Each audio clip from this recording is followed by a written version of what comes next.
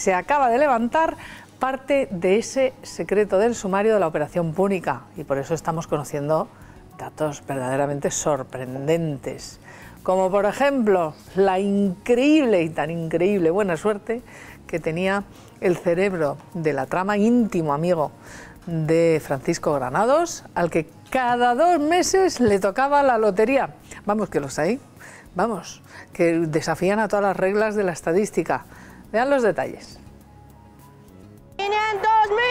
Si no fuera porque era el cerebro de la llamada Operación Púnica, se podría decir que al empresario David Marjaliza le acompañaba la suerte.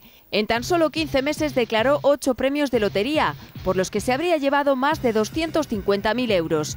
Así lo revela un informe de la agencia tributaria incorporado al sumario que investiga el juez Velasco, con datos del historial fiscal e inversor de Francisco Granados y su socio. En dos años, David Marjaliza llegó a blanquear 4 millones y medio de euros en facturas falsas de hasta al menos nueve empresas por servicios que en realidad nunca existieron.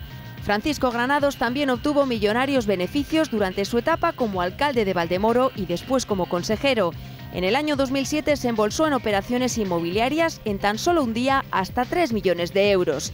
Vendió dos inmuebles por un precio 10 veces superior al de su compra y unos terrenos en Valdemoro por valor de un millón y medio de euros.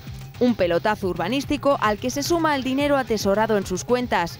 Entre 2002 y 2008 obtuvo entre 700.000 y 1,4 millones de euros. Su salario oficial alcanzó su pico más alto en 2008 con 113.000 euros.